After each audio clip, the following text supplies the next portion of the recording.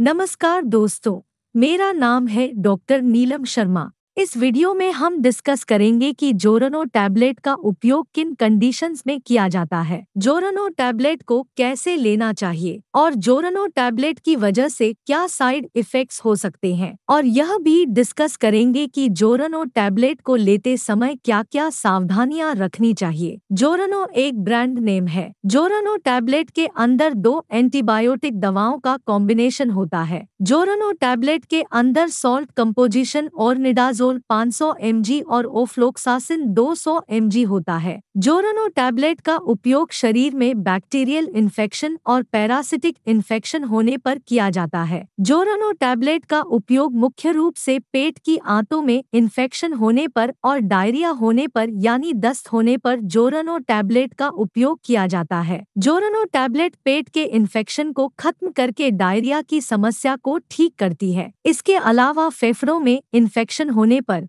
दांतों या मसूड़ों में इन्फेक्शन होने पर, जोड़ों या हड्डियों में इन्फेक्शन होने पर, पेशाब में इन्फेक्शन होने पर, पेट में इन्फेक्शन होने पर, महिलाओं की वजाइना में इन्फेक्शन होने पर और कान, नाक, गले या त्वचा पर इन्फेक्शन होने पर भी डॉक्टर जोरन और टैबलेट को लेने की सलाह दे सकता है। इसके अलावा त्वचा पर कोई फोड़ा फुंसी होने पर, त्वचा पर कोई घाव होने पर या त्वचा पर कोई इन्फेक्शन होने पर भी डॉक्टर जोरनो टैबलेट को लेने की सलाह दे सकता है। शरीर में इन्फेक्शन होने पर बुखार हो सकता है। इसलिए बुखार होने पर भी डॉक्टर जोरनो टैबलेट को लेने की सलाह दे सकता है। इसके अलावा भी बहुत सी ऐसी कंडीशंस है, जिनमें आपका डॉक्टर जोरनो टैबलेट को लेने की सलाह दे सकता है। साइड इफेक्ट्स की बात करें तो वैसे तो ज़्यादातर व्यक्तियों में जोरनो टैबलेट की वजह से कोई साइड इफ़ेक्ट इफेक्ट्स नहीं होते हैं। लेकिन कुछ परसेंट व्यक्तियों में जोरनो टैबलेट की वजह से कुछ साइड इफेक्ट्स हो सकते हैं। जैसे उल्टी आना,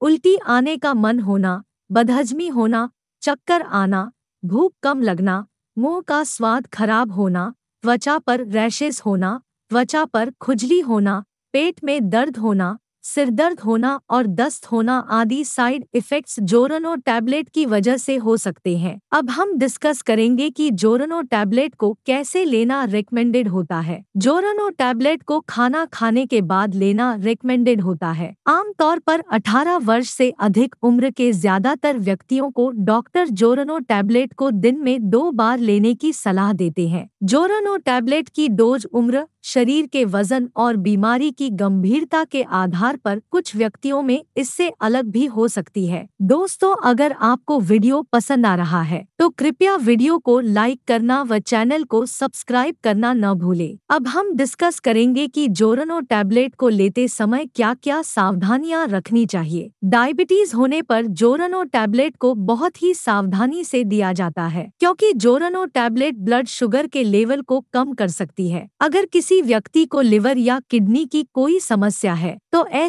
व्यक्तियों को इसके बारे में डॉक्टर को बताना चाहिए, क्योंकि लिवर और किडनी की बीमारी से पीड़ित व्यक्तियों में जोरनो टैबलेट की डोज घटानी पड़ सकती है। जोरनो टैबलेट को केवल उतने समय के लिए ही लेना चाहिए, जितने समय के लिए आपके डॉक्टर ने जोरनो टैबलेट को लेने की सलाह दी है, क्योंकि लगातार ज़्यादा लंबे समय तक जोरनो टैबलेट को लेने से एंटीबायोटिक रेजिस्टेंस हो सकता है, और एंटीबायोटिक रेजिस्टेंस होने पर वो एंटीबायोटिक दवा आपके शरीर में काम नहीं करेगी और जोरनो टैबलेट को अपनी मर्ज़ी से पहले बंद कर देने से आपका इन्फेक्शन वापस आ सकता है। इसलिए आपको जोरनो टैबलेट को आपके डॉक्टर द्वारा बताए गए समय तक पूरा लेना चाहिए। प्रेग्नेंट महिलाओं के लिए जोरनो टैबलेट का सेवन करना रिकमेंडेड नहीं है। अभी इसके बारे में पर्याप्त डेटा अवेलेबल नहीं है कि जोरनो टैबलेट स्तनपान करा रही महिलाओं को नुकसान पहुंचाती है।